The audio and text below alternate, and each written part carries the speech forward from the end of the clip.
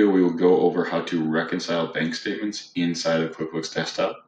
So you'll first go to the banking tab in the top middle, go down to reconcile. If you're reconciling a checking account, you'll make sure that that's selected.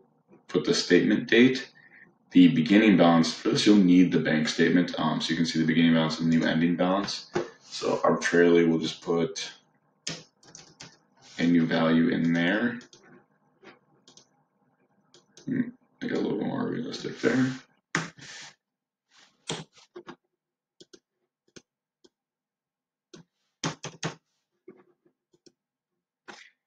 And then if there's any service charges or interest earned against these accounts, make sure the accounts are set up correctly. You'll hit continue.